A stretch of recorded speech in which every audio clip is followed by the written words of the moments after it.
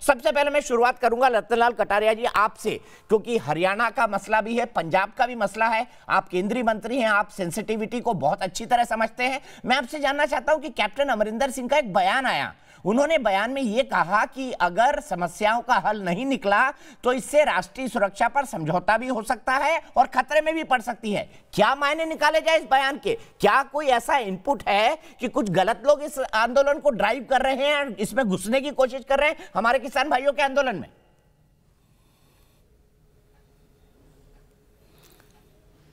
हाँ, देखिए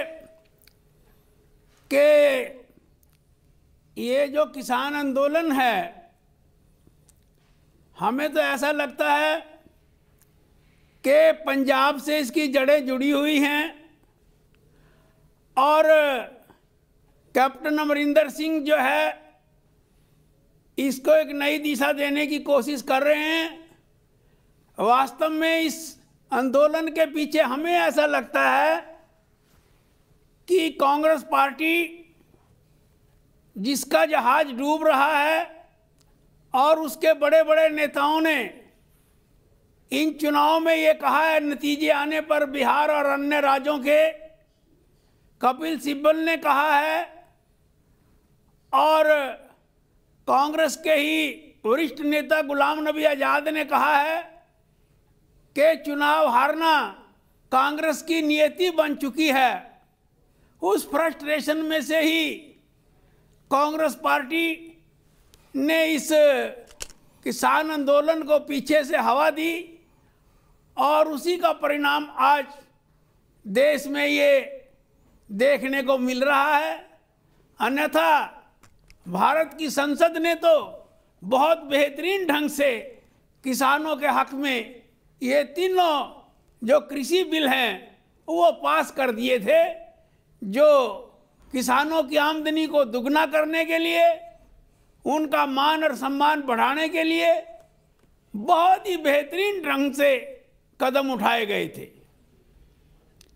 लेकिन कटारिया जी, मैं पंजाब के मुख्यमंत्री, आपने कहा इसके पीछे, अखिलेश जी, मैं आ रहा हूँ। लेकिन केंद्र सरकार की भी अपनी एजेंसी होती है, अमरिंदर सिंह जी की हो सकती है, आपकी भी है, हरियाणा सरकार की भी है, मैं आपसे जानना चाहता हूँ, जो शब्द उन्होंने कहा है कि राज्य की पंजाब की आर्थिक स्थिति पर असर पड़ रहा है और इसका असर नेशनल सिक्योरिटी पर भी पड़ रहा है। तो क्या कहीं राष्ट्र विरोधी ताकतें तो इस आंदोलन में घुसने की कोशिश नहीं कर रही हैं? घुस तो नहीं रही हैं, क्योंकि जस्टिन टूडो भी बोल रहे थे कनाडा के अंदर कि जहाँ से खालिस्तानी मूवमेंट चलता है, जहाँ पर उनके कई सारे खालिस्तान की अलगावाद की जो बातें करते हैं, उससे जुड़े कई नेता रहते हैं, उन्होंने भी किसानों की बात कही और भारत को कहना पड़ा कि नहीं नहीं, आप हमारे आंतरिक मामले में मत बोलिए किसान भाई, हमारे घर के लोग हैं, हमारे भाई हैं, हमारे अन्नदाता हैं, हम उनकी फ़िक्र करना जानते हैं। तो क्या इसके पीछे आपको कुछ दिखाई दे रहा है? कोई राष्ट्र विरोधी ताकतें घुस रही हैं? क्या अमरिंदर सिंह ये जताने की कोशिश कर रहे थे?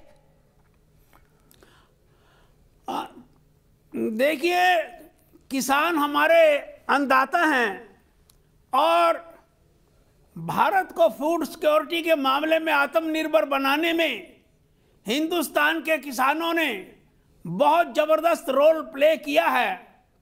और आज जो भारत अनाज के मामले में भीख का कटोरा लिए दूसरे देशों के सामने खड़ा रहता था, हिंदुस्तान के किसानों ने दिन रात इतनी मेहनत की और सरकारों ने उनकी मदद भी की।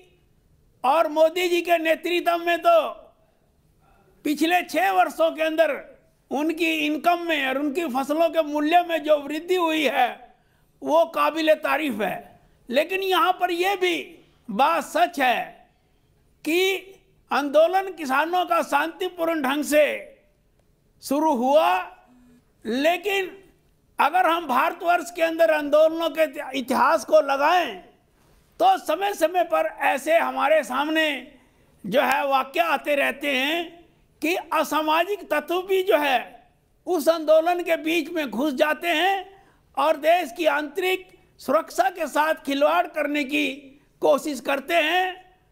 ऐसा हमने अभी ताज़ा ही कई आंदोलनों के अंदर देखा है, चाहे वो शाहीन बाग का मसला है और चाहे वो उत्तर प्रदेश के अंदर अभी पीछे जो घटना हुई थी तो इस प्रकार की जो है, तत्व भी ऐसे आंदोलनों में शामिल होने का खतरा बना रहता है, लेकिन भारत सरकार की उसके ऊपर कड़ी नज़र बनी हुई है। तो क्या ऐसे लोग इस आंदोलन में शामिल हो चुके हैं? क्या आपको लगता है? क्योंकि मनोज तिवारी ने भी कहा कि टुकड़े टुकड़े गैंग वाले घुसना चाह रहे हैं। शाहीन बाग की दादी द वायर पर घोषणा करके गई बिल्किस बानो कि मैं वहाँ जा रही हूँ। पुलिस ने उनको समझा बुझा के वापस भेजा। क्या ऐसे लोग इस असामाजिक जिनको आप कह रहे हैं, राष्ट्र विरोधी जिनको आप कह रहे हैं, क्या किसान भाइयों के आंदोलन में घुस गए हैं? सरकार की क्या जानकारी है?